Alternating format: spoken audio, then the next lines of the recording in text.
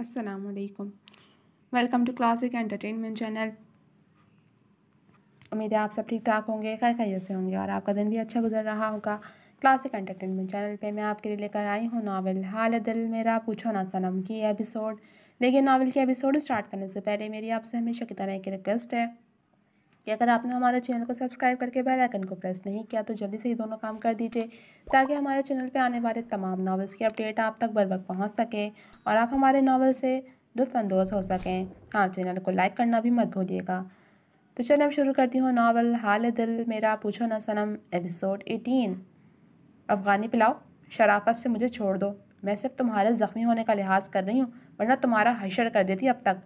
वो पूरी तना भिड़की थी, जबकि वो अपना नाम बिगाड़े जाने पर उसे घूर कर रह गया। मुझे पसंद नहीं कि कोई मेरा नाम बिगाड़े।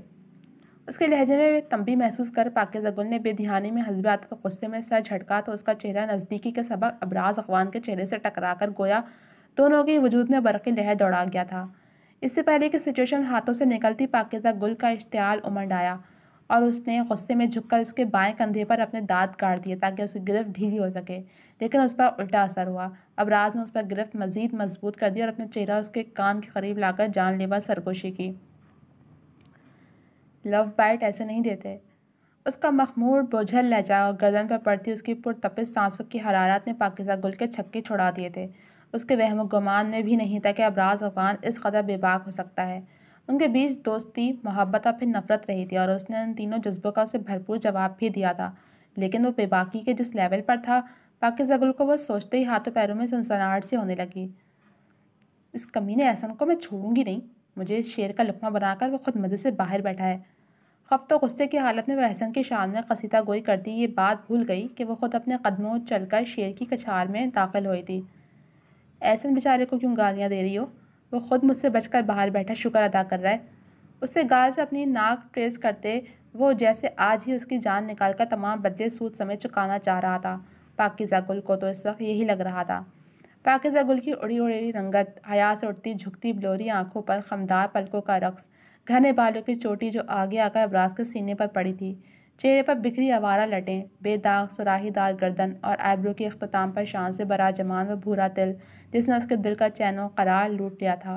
उसकी नाजुक कमर और संदली वजूद की मलायमत वो सरापा मैकदा थी, जिसे अपने इतने करीब देख वो मदहोश होते बहकने लगा था।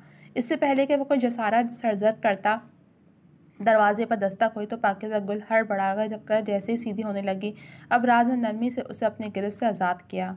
पाकिजा गुल ने एक नज़र दरवाजे को देख दूसरी गुस्सैल नज़र अबराज अफगान पर डाली, जिसके चेहरे के तासुरात कड़वे ही नहीं, तेखे भी हो चुके थे। पेश शर्म, अफगानी पिलाओ, क्रोल कहीं का। दिल में उसे सलावातें सुनाती, दोबारा दी गई दस्तक पर वो दरवाजे के सिमत बढ़ी लेकिन इससे पहले वो अपने हुलिये पर तनकीदी नज़र डाले दुबट्टा दुरुस्त करती, जल्दी से दरवाज़ा खोल गई। मैम, सर की मेडिसिन का वक्त हो गया है। चेहरे पर प्रोफेशनली मुस्कुराहट से जाए, नर्स ने अपने आने का मकसद बताया तो वह एक जानब होती उसे अंदर आने का रास्ता दे गई। साथ बाहर की जानब नज़र दौड़ाई तो एहसन के साथ परीजों को बैठा देख उसका मज़ीद मूड बिगड़ा। उस पर एक खोखार नज़र डाले वह वापस अंदर की जानब पलट गई थी। हमने उन्हें अकेले रहने का मौका दिया ताकि उनके बीच भी कुछ रोमांस वगैरह स्टार्ट हो, लेकिन पाकि का करेले जैसा कड़वा मुँह देखकर ये खुशफहमी भी अपने आप मर गई। ऐसा ने ठंडी सांस भरते भरपूर अफसोस का इजहार किया। न जाने उन दोनों के बीच सब कब ठीक होगा। मुझे तो ये बेल मुंडेर चढ़ती नज़र ही नहीं आ रही है। परिज़ी भी उनके मुस्तबिल को लेकर अजहद फ़िक्रमंद हो चुकी थी। वो दोनों ही एक दूसरे के लिए ज़रूरी हैं, लेकिन दोनों के बीच हाल अनदेखी दीवार उन्हें एक दूसरे के खुद करीब नहीं होने दे रही। ऐसा उनका अंदाज संजीदा था। अब राज सर की मॉम कहाँ हैं? उन्हें अपने बेटे के साथ हुए हादसे का इलम नहीं है क्या? ऐसा ने अचानक ही पूछा। आंटी आउट ऑफ़ टाउन है। दरअसल उनकी क्लोज़ फ्रेंड की बेटी की वेडिंग थी और वो ही अटेंड करने गई हुई हैं। अगर वो यहाँ होती तो न जाने क्या होता। वह अभी को लेकर काफ़ी हसास हैं। मैं तो शुक्र ही अदा कर रही हूँ कि वो नहीं है, वरना ख्वाम खां एक टेंस सिचुएशन क्रिएट हो जाती। फरीदा जानती थी कि वो अपने बेटे को लेकर काफ़ी टची थी और अगर वो यहाँ अबराज के साथ पाकिजा गुल को देखती तो न जाने कैसा रिएक्ट करती। यकीन उनका रिएक्शन अच्छा नहीं होता। इस बात का उसे पूरा यकीन था। तुम्हारी आंटी मतलब अबराज सर की मॉम बाय नेचर कैसी हैं? मतलब पोलाइट हैं या उनका मजाज गुसेल है? कुछ बताओ उनके बारे में और अबराज सर के बारे में भी। उसके बज़ाहिर आम लहजे में किए गए सवाल पर परिजे को उसके अंदाज में कुछ अलग महसूस हुआ। लेकिन वो बगैर गौर के सामने देखने लगी, जहाँ एक लेडी अपने बच्चे को गोद में लिया उसे प्यार से कुछ समझा रही थी।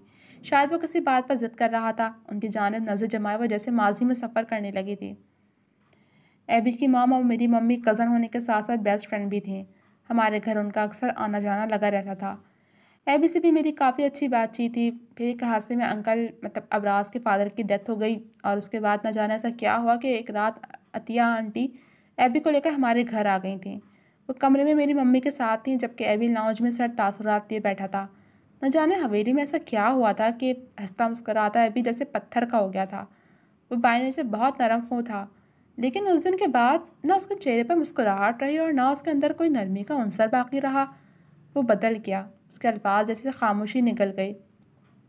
आंटी का रवैया कुछ दिन अजीब रहा, लेकिन वो फिर वो वो तो नॉर्मल हो गई, लेकिन मैंने अभी को नॉर्मल होते नहीं देखा। वो जब तक पाकिस्तान में रहे, मैंने हरदम अभी की आँखों को सुर्खी देखा था। अब ये सुर्खी गुस्से की थी या रोने की, मैं जान नहीं सकी। लेकिन एक बात जो मैंने शिद्दत से महसूस की, वो एबी की आँखों का खालीपन था। उसने बोलते हुए चंद पल का तवक़ लेकर सिलसिला कलाम फिर से जोड़ा। मैं जब यहाँ लंदन आई तो वो खालीपन उस वक्त भी मुझे उसकी आँखों में नज़र आया था। लेकिन जब से पाकिजा गुल यहाँ आई है, मैंने अभी की आँखों में एक चमक सी देखी है, जो बस पाकिजा गुल को देख कर ही उसकी आँखों में उतरती है। उसके चेहरे का सुकून, उसके दिल की हालत का पता देता है। मैं जानती हूँ माजी में कुछ ऐसा हुआ है जिस वजह से अभी पाकि से दूर हो गया, लेकिन उसका दिल आज भी बस उसी के लिए धड़कता है। एबी की खुशियाँ बस पाकि के दम कदम से हैं। पाकि की मौजूदगी अभी की खुशियों की ज़मानत है। गहरी सांस भरकर खारिज करते हुए हल्की सी तिरछी होकर एहसन के हाथ थाम गई। एहसन ऐसा हो सकता है कि हम उन दोनों को एक दूसरे के करीब ले आएँ? मतलब जैसे फ़िल्मों में दिखाते हैं, देखो मोहब्बत तो वो दोनों एक दूसरे से करते हैं, लेकिन बस एक दूसरे से बस ज़ाहिर नहीं कर रहे। तो हम कुछ ऐसा करते हैं कि वो दोनों ही अपनी अपनी मोहब्बत का एतराफ़ एक दूसरे से कर लें। वो एकदम पुरजोश होती उसकी जानब उम्मीद भरी नज़रों से देखने लगी तो एहसन ने मुस्कुराते हुए उसके हाथ पर अपना दूसरा हाथ रख कर गोया उसे अपने साथ की यकीन दहानी करवाई थी, जिससे वो खुशी के मारे खिल उठी और जोश जज्बे में एहसन के गले जा लगी। उसके ऐसे रद्द अमल पर एक पल को एहसन साकित हुआ था। वो हरगिज़ भी इतनी बेबाक नहीं थी, लेकिन शायद वो खुशी के मारे इस वक्त कुछ समझ नहीं पा रही थी। बस करो लड़की क्या जान ही ले लोगी, मुझ मासूम की। अपने कान के करीब एहसन की शौक भरी सरगोशी सुनते वो करंट खाती उससे दूर हुई। अपनी बेख्तियारी पर खपत शर्मिंदगी के मारे उसका चेहरा सुरख पड़ गया था। उसने एहसन की शरारत भरी रोशन नज़रों से नर्वस होते बालों को बेसबब कान के पीछे अड़सा। मैं अंदर एबी को देखकर आती हूँ। मज़ीद उसकी पुरशोक नज़रों के ताब ना लाती वो बोखलाकर उसके पास से उठकर तेज़ तेज़ कदमों से वहाँ से गायब हुई थी। हम पेशेंट को कब तक डिस्चार्ज करवा सकते हैं? नर्स अपने काम से फारिग हुई तो पाकिजा गुल ने संजीदगी से इस्तफसार किया। क्यों? मेरी खिदमतें करते यकीनन जान जा रही होगी जो लड़की अब राज का अंदाज़ कड़पा हुआ था। वो उसके साथ रहना चाहता था और वह दूर जाने की बात कर रही थी। डिस्चार्ज का मतलब वो अपने घर और पाकिजा अपने अपार्टमेंट। ऐसी बात नहीं है भाई, यहाँ का माहौल वैसा ज़्यादा करता है और तुम्हें यूँ बेड पर देखना सो हॉरेबल पाकिजा ने वजात देते झुरझुरी दी थी, जबकि नर्स इनकी नोक झोंक इंजॉय करती मुस्कुरा रही थी। इन्हें छोड़ें, आप डिस्चार्ज का बताएँ। वह अब राज को आँखें दिखाती एक मरतबा फिर नर्स से मुखातिब हुई। एक घंटे बाद डॉक्टर राउंड पर आएँगे, उसके बाद ही इनके डिस्चार्ज का फैसला होगा। नरमी से उसे इन्फॉर्मेशन पहुंचाते हुए उन दोनों की जाने मुस्कुराहट उछालती कमरे से जा चुकी थी, लेकिन बाहर निकलने से पहले उसने पलट कर अब्राज पर एक गहरी मगर भरपूर नज़र डाली तो पाके जगुल कुड़ कर रह गई। अफगानी पिलाओ को तो सब लड़कियों ने गोया शहद का छत्ता ही समझ लिया है। आओ और चिपक जाओ। आवाज़ बुलंद बड़बड़ाते हुए वह अब्राज के संजीदा चेहरे पर मुस्कुराहट लाने का सबब बनी थी। कहीं से धुआँ उठ रहा है? अबराज के लहजे की संजीदगी भरी शोखी उसे एक आँख न भाई जब उस पर एक तिरछी नज़र डाले, वो अपना सर झटक गई और जाकर सोफे पर बैठकर टेबल पर पड़ा मैगज़ीन उठाकर उसकी वर्क गर्दानी करने लगी। तुम यहाँ पे मैगज़ीन पढ़ने आई हो? अब अबराज अफगान को अपना इग्नोर इग्नोर होना खिला तो वो कहे बगैर नहीं रह सका। पाक जकुल ने चेहरा उठाकर बैठ की जानब देखा, जहाँ अब अबराज अफगान लेटा उसे खा जाने वाली नज़रों से देख रहा था। इससे पहले कि वो जवाब में कुछ कहती, डोर नॉक करते परिजर रूम में दाखिल हुई थी, जिसे देख पाके जकुल का मुँह बन गया। कैसा महसूस कर रहे हो? ये यकीन अब आफाका हो गया होगा और मूड भी बेहतर होगा तुम्हारा। अपने फ्रेंडली अंदाज में कहती हुआ अबराज के बेड पर बैठकर बजाय संजीदगी से उसका हाल अहवाल पूछ रही थी, लेकिन उसकी आँखों में शरारत साफ़ देखी जा सकती थी। जिसे समझते अबराज के लब भी मुस्कुराहट में डले थे। इस मंजर को पाक जगुल ने कीना तोज नज़रों से देखा और नज़रें वापस मैगजीन पर मरकूज कर दी। इससे पहले कि वो मजीद कुछ बातचीत करते रूम का डोर रूम का डोर एक झटके से खुला और अबराज की मोम अतिया दौरान एक घबराहट के आलम में रूम में दाखिल हुई। उन्हें यूँ अचानक अपने सामने देख जहाँ अबराज और परिजे को खुशगवार हैरानगी हुई, वहीं पाकिजा गुल के चेहरे पर उनके लिए नफरत आमेज तासरात रकम हो चुके थे, जिसे उसने छुपाने की हरगज़ भी कोशिश नहीं की थी। मॉम, आप यहाँ कैसे? वह हैरान होने के साथ साथ खुश भी हुआ था। मेरी छोड़ो तुम अपना बताओ अभी मेरी जान ये क्या हाल हो गया तुम्हारा?